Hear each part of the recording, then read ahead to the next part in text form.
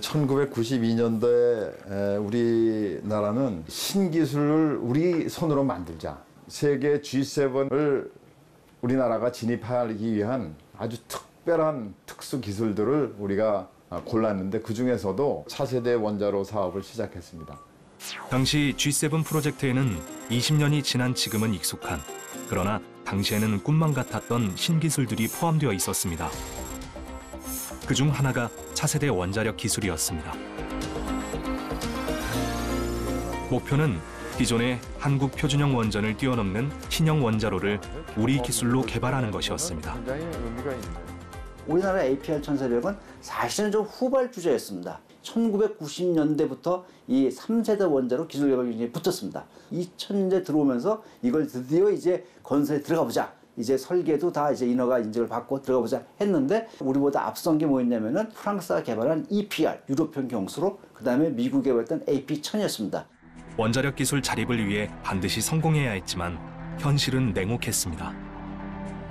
어려움 좀 굉장히 많았죠. 대표적 어려움 좀 하나 말씀드리게 되면은 이 프로젝트를 진행 중에 IMF를 맞았어요. IMF 사태라는 국가적 위기로 연구 개발비가 삭감되고 연구진이 절반으로 줄었습니다. 예산은 한정돼 있고 이건 개발을 해야 되고 근데 이걸 갖다 외화로 내보려니까 환율이 너무 올라와서 감당할 수는 없고 돈도 없는데 IMF 때문에 이걸 해야 되냐 말아야 되냐 그런 게 많이 소랑스러워 했었는데 다 돌파했죠. 그럼에도 불구하고 연구는 계속되었고 외국의 개량형 신형 원자로보다 뛰어난 원전을 개발하는 데 성공했습니다.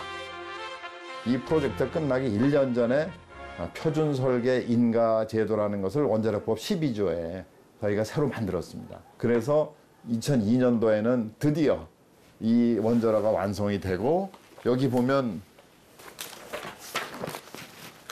원자로 시설의 표준 설계 인가증 제1호 아닙니까? 우리나라의 최초의 1호가 법이 만들어지고 기술 개발이 완성되고 우리나라의 걸로 만든 거죠.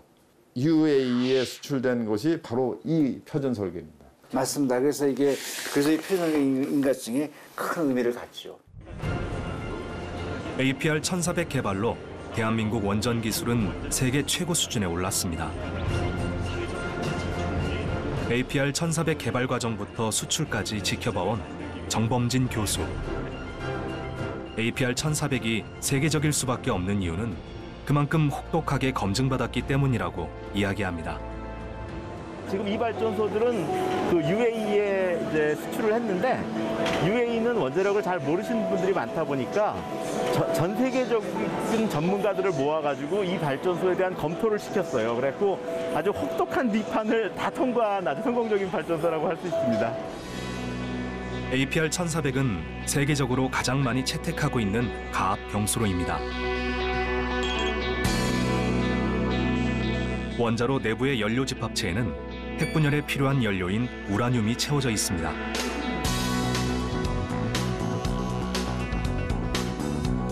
핵분열이 시작되면 우라늄은 외부의 중성자를 흡수하여 쪼개지는데 이때 또다시 중성자가 나와 핵분열 연쇄 반응을 일으킵니다.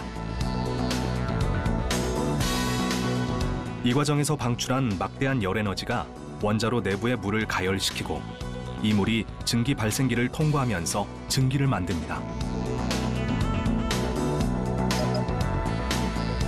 이 증기가 터빈을 회전시켜 전기를 생성하죠.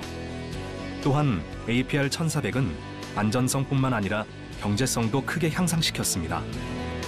가동 중 검사와 연료 제장 전의 편의성을 향상시켜 운전과 정비의 편의성과 비용을 절감하고 이를 통해 이용 기간 동안 평균 90% 이상의 이용률을 유지하도록 설계되었습니다. 또한 구조물과 기계 모듈화 등 각종 신공법으로 건설 기간도 단축했습니다.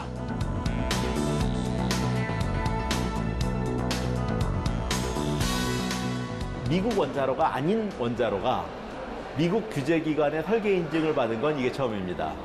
앞으로 우리가 이제 수출을 한다거나 할 때 분명히 아 우리끼리 한 게 아니라 중요한 원자로 규제기관으로부터 인허가를 받았다는 차원에서 전망이 좋은 원자로라고 할 수 있습니다. 2002년 개발이 완료된 APR 1400은 2006년 신고리 3, 4호기 건설에 처음 적용되었습니다. 해외 업체의 설계와 건설을 모두 맡겼던 고리 1호기 이후 35년 만에 처음부터 끝까지 우리 기술로 원전을 지을 수 있게 된 것입니다. 신고리 3호기가 첫 호기가 준공 들어갔죠. 아, 준공 들어가고 그 첫 주기, 첫 주기 1년을 갖다가 trouble free, OCTF라고 그럽니다. One Cycle Trouble Free. 아무 트러블 없이 운전을 갖다 성공합니다. 대개 첫 호기는요, 신기술을 하게 되면은 몇 번에 좀 트러블이 날 수가 있거든요. 그런데 그걸 한 바퀴 완전히 했다는 것에 대해서는 지금 생각하면 좀 등골이 설- 서늘할 정도로 좀 놀라운 일이 아닌가.